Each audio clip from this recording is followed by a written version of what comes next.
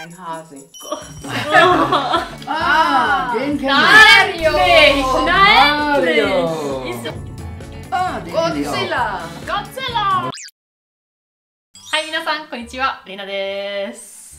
今日は両親と一緒にクイズをしたいと思います。このクイズは日本のキャラクターについてです。あの、ピカチュウなどのそういったようなキャラクターがしているかどうか、なんで知らないかについて話したいと思います。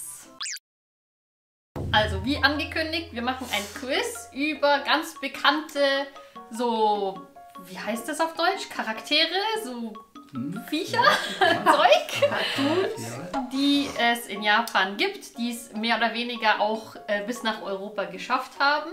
Und dann ist eben die Frage, ob ihr die kennt und wenn ja, äh, woher und was ihr damit assoziiert oder ob ihr da irgendwie, keine Ahnung, Erinnerungen oder sonst was habt. Und äh, wenn nein, dann möchte ich natürlich von euch hören, was ihr glaubt, was diese Sachen sind. Charakter Nummer 1. Ja, Ja, das kenne ich. das bekannteste, Pikachu! bekannteste Teil wahrscheinlich überhaupt auf der Welt. Pikachu ist Ein Hase. ein Hase. Ein, Nein. Nein? das, das erstrebenswerteste äh, Tier aus der Spielreihe. Mario. Nein, wie hieß die nochmal? Ich weiß das nicht. Echt Nein, ganz schlecht. ich weiß das Ich nicht. hab's auch schon wieder vergessen. Pokémon. Ah ja, Pokémon, stimmt. Pokémon. Ja, ja, ja. Wisst ihr, warum Pokémon Pokémon heißt? Nein, Hat woher? was mit Tasche zu tun hat? Mhm, genau, Pocket Monster. Pokémon. Ah, Und ich wusste das nicht. woher kennt ihr Pikachu? Von Oder? euch, Von euch? Ja. wie ihr klein wart. Haben wir?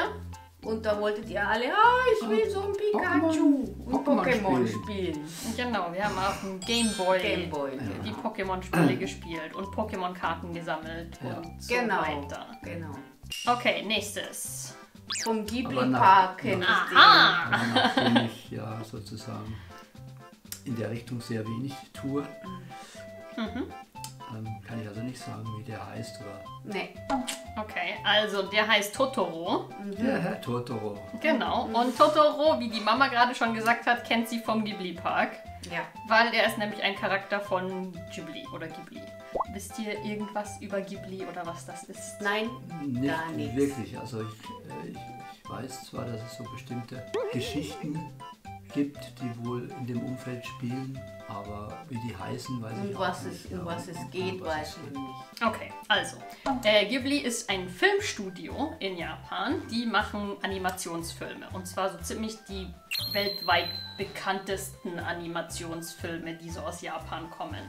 Es liegt ähm, an einem oder, oder an den Leuten, die da dran arbeiten. Die haben ein unglaubliches Gefühl, nicht nur für Storytelling an sich, sondern halt einfach auch, wie man das alles so in so einem Animationsumfeld irgendwie in Szene setzt. Dieses Studio gibt es schon seit, keine Ahnung, 60 Jahren oder sowas.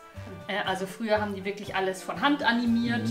Ähm, und auch heute noch wird vieles von Hand dort gemacht. Und deswegen hat es eine unglaubliche Kult-Followerschaft. Und jedes Mal, wenn da ein neues, neuer Film rauskommt, wird es wirklich sehr gehypt und eben auch auf der ganzen Welt. Ah ja. Einer der bekanntesten Filme ist eben Mein Nachbar Totoro. Und äh, wir haben übrigens hier in Deutschland einen Ghibli-Film im Kino angeschaut. Und zwar Chihiros Reise ins Zauberland. Das war Kann dieser sein, Film von diesem. Mädchen, Den, was... den Titel kenne ich. Ja, ja, genau. ja. Das ist aber sehr lange her. Genau, und das ist auch einer der allerbekanntesten Ghibli-Filme Aha. überhaupt. Okay. Nächster. Keine Ahnung. Ja, Habe ich noch sieht- nie Das gesehen. sieht cool aus. Ein überdimensionierter Kopf irgendwie. Mhm. Shin-Chan. Und Shin-Chan ist auch so eine Serie, die in Japan wirklich mega Kultstatus hat. Und das ist äh, so, ein, so ein richtiger Bengel, der sich überhaupt nicht gut äh, benimmt die ganze Ah. Zeit und ständig seine Hose runterzieht und allen Leuten seinen Hintern zeigt.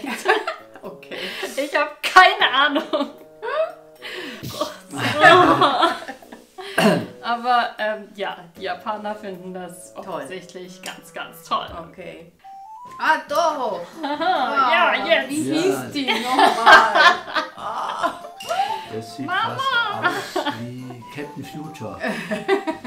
Nein! Nein, ich weiß, ich wusste mal, wie sie hieß, aber ich weiß es nicht. Mhm, Und wieso wusstest du das? Gib mir mal ein, ein, ein Vokabel, ein Da. Prinzessin irgendwas? Nee, nicht schlecht, aber es. Noch ein bisschen mehr?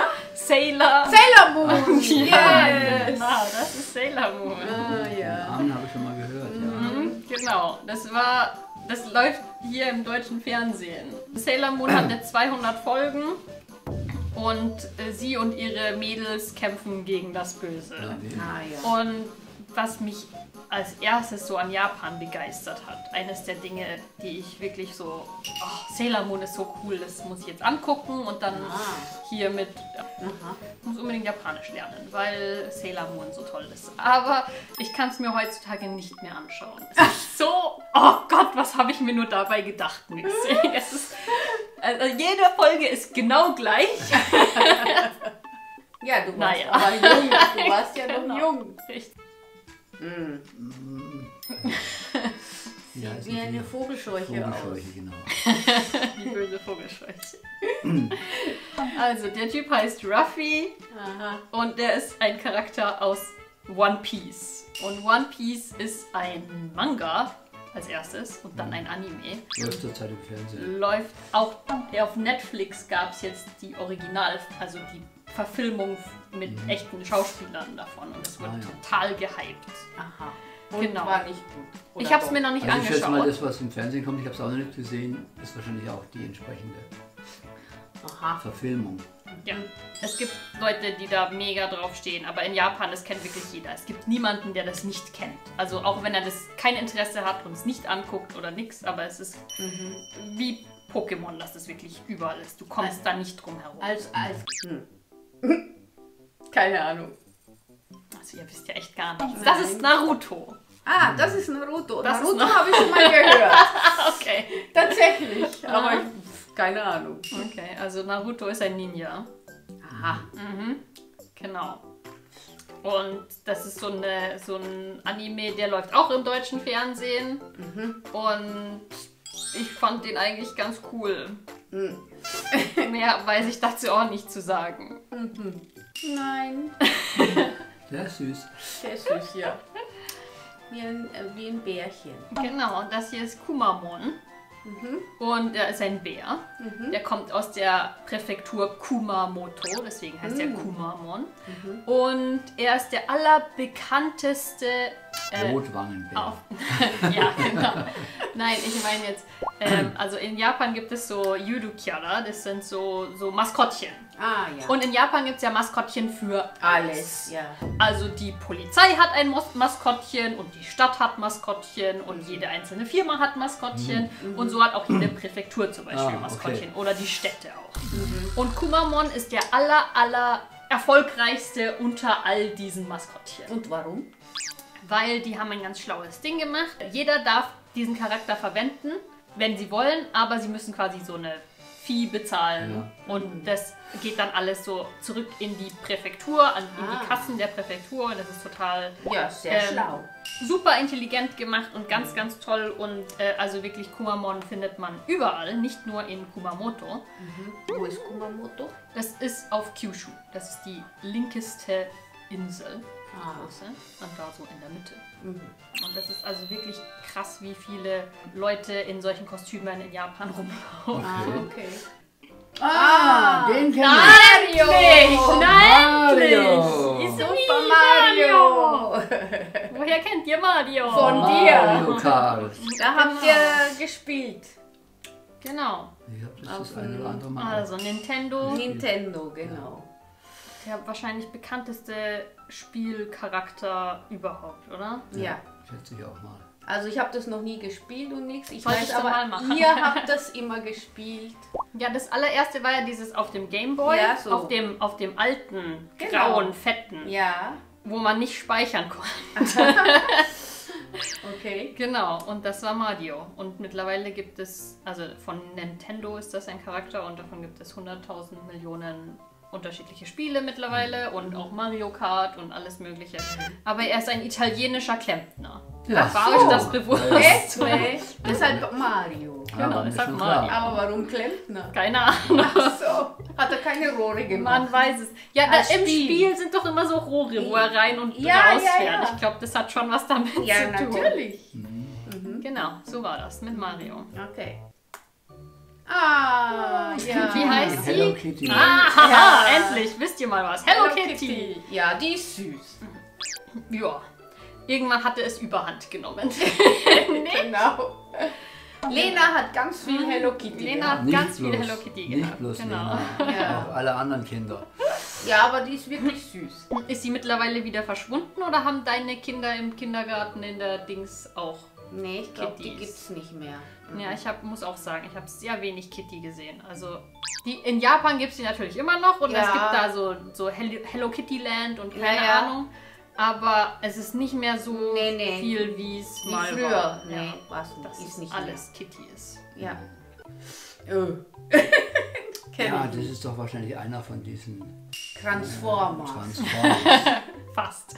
Also es geht schon in die gleiche Richtung. Dieses Ding hier heißt Gundam. Okay. Und jetzt muss ich auch zugeben, dass das so ziemlich das Einzige ist, was ich darüber weiß. ähm, es steht da so ein riesiges, äh, keine Ahnung, 8 Meter hohes Ah, Ding ja. davon in Tokio. Und das bewegt Und das sich. bewegt sich sogar so Ja, ein ja. bisschen. Okay. Ähm, also es ist wirklich so ein Kultding in Japan und eben auch auf ein, so einem Anime basierend und auch schon sehr alt. Also das ist jetzt nichts Neues, sondern so. keine Ahnung von vor in den 70ern oder keine Ahnung, 80er.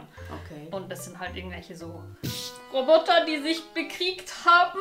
Nee. Vermute ich. ich weiß es auch nicht so Ja, genau. schlecht. Das bringt weiß ja ich dann nichts. auch nichts. Ja. Also ich weiß bei weitem nicht alle Charaktere, die es so in Nein, Japan woher gibt. auch? Aber also insbesondere halt die, die auch einfach so weit vor meiner Generation sind, dass ich Genau. da einfach nichts damit hätte zu tun haben können. Genau, genau. Hm. Nee. Ja, den kenne ich, den kenn ich aber. Ja, Ja, aber Nee. Woher soll, das kann nicht sein, dass die Frisuren sonst öfter auch noch auffallen. Ich glaube auch. nee, ähm, das ist schon sehr charakteristisch. Das ist Son Goku von Nee. Dragon Ball. ah, Dragon Ball, genau. Ja, schau, Ah. der Papa hat auch Nee. Kultur. Nein, nicht wirklich. Ja, auch nur vom Alan. Ja, wahrscheinlich. Also das kam auch hier in, in Deutschland im Fernsehen und ich fand das Ah. immer zu doof. Das ist halt so ein, so ein Boy-Ding. Mhm. Also, Was für Jungs. die, ja, die, die Typen da, die haben irgendwelche Superkräfte und verprügeln sich für mehrere Folgen und es ist Ah. Godzilla. Godzilla! Aus den 60er Godzilla! Jahren oder so. Und Aber das ist der alte Godzilla. Mhm. Ja, ja. will irgendjemand raten, wie viele Godzilla-Filme es gibt? Oh Gott. Nee, das ist. Also ich sag mal, ich wüsste vier oder fünf, Ja, genau. aber wie viel es wirklich gibt, keine Ahnung. Über 30. Okay. Okay. Also nicht nur in Japan, also die ersten Godzilla-Filme wurden natürlich in Japan gemacht und zwar so schlecht, wie das auf diesem wunderschönen Bild hier zu sehen ist. Ja, doch, Deswegen das war doch sehr, das ich war doch super. ein Also altes in den, Das war in den ganz 70er toll. Jahren, Ja. die ersten Godzilla, hey. ja. Ja, War genau. schon richtig gruselig. Ja, aber die neuen Godzilla, die sind ja alle in Amerika produziert Ja, und genau. einfach nur noch äh, mit, mit Grafik und CGI und Ja, keine ich weiß Ahnung noch, gemacht. wir haben einen im Kino gesehen. Mhm. Der typische halt, wo eine Frau entführt Alle, wird. Mama, die sind alle gleich, glaube ich. Ja, da haben sie einfach King Kong genommen und Oder so. King Kong und Godzilla, ja, alles genau. gleich. Ja, genau. es gibt nicht sogar King Kong gegen Godzilla. Wahrscheinlich. Wahrscheinlich. Ja. Genau. Deswegen ist auch Tokio eine der meist zerstörten Städte in Filmen. Wir haben mal irgendwo so ein Ranking gemacht. Also New York und Tokio, das sind so die zwei Städte, die so am meisten in Filmen zerstört werden. Aha. Und Godzilla. Godzilla Aha. hat halt große Schuld daran, dass Tokio so oft zerstört wurde. Ah, okay. Genau. Nee, kenne ich nicht. Was könnte das sein? Ein irgendein Puma, ein. Tiger. Ein Kätzchen, genau. Ähm, also ich dachte auch, als ich das das erste Mal gesehen habe, das muss eine Katze sein, oder? Hat nur keine Ohren, keine Ahnung. Ja, weil es die, dieses Ding drauf hat, Nein, also guckt- der Anzug. Guckt, guckt so nach hinten, die Ohren kann man nicht sehen, die sind da hinten. Ah ja, genau. Nein, das ist Doraemon. Und Doraemon ist ein Roboter. Ach, Und die, dieser Anime ist total süß einfach. Ähm, Doraemon wurde erfunden von äh, Nobita. Nobita ist der Hauptcharakter dieser Serie, also zusammen mit Doraemon. Faules und ja, hauptsächlich faul eigentlich. Also eigentlich ist er einfach nur richtig faul. Fliegen und aus dieser Tasche hier kann er wirklich alles Mögliche an nützlichen Gadgets rausziehen und damit äh, das Leben von Nobita einfacher machen. Ah ja. Und so haben, hat er und seine ganzen Freunde tolle Adventures. Das allertollste Gadget übrigens, das ich unbedingt haben will und sonst auch alle Menschen, ist die Doko de Modor. Das ist eine Tür, die kannst du irgendwo aufstellen und dann aufmachen und du kannst überall auf der Welt da, damit Ja, hin. Gell? das wäre was für mich. Finde ich auch. Ja. Ja. Genau. Und deswegen hätte ich gerne eine Doko de Modor und auch alle anderen Menschen auf der Welt, glaube ich. Keine Ahnung. Harry Potter. auf, auf, und- Auf Japanisch. Japanisch. Nein? Harry Potter auf Japanisch. Das ist Detective Conan. Oh, der Doktor, äh, der Detective Conan. Und das ist auch eine Serie, die gibt es hier in Deutschland im Fernsehen. Echt? Ja. Und Detective Conan ist ein Superdetektiv, äh, gefangen im Körper eines Kindes. Und ähm, er löst Kriminalfälle, die meiste Zeit irgendwelche Morde, weil sein Onkel oder wie auch immer, der ist Detektiv oder der ist ein Polizist, total unfähig. Und er löst es. Und er dann. löst die Fälle und dann ähm, gibt er dem seinem Onkel oder was auch immer es ist so einen Dart, mit dem er ihn betäubt und dann sitzt er irgendwo so rum und er benutzt dann so einen Stimmverzerrer und erklärt dann, wie der Mord oder sonst was ähm, passiert ist und wer daran schuld ist und keine Ahnung. Und das Ah. ist eigentlich ähm, wirklich eigentlich echt ganz nett, Nett, gemacht einfach. Und äh, genau, also er ist super, super intelligent und deckt diese ganzen Morde überall Okay. auf. ということで、この動画はここで終わりにします。皆さんはまだこの動画に入ってなかった誰でも知ってるキャラクターがあればコメントで教えてください。また次の動画で聞いてみます。ということで、この動画が楽しかったなら、ぜひいいねボタンを押してください。チャンネル登録もよろしくお願いします。それではまた次の動画でも会いましょう。バイバイ。バイバイ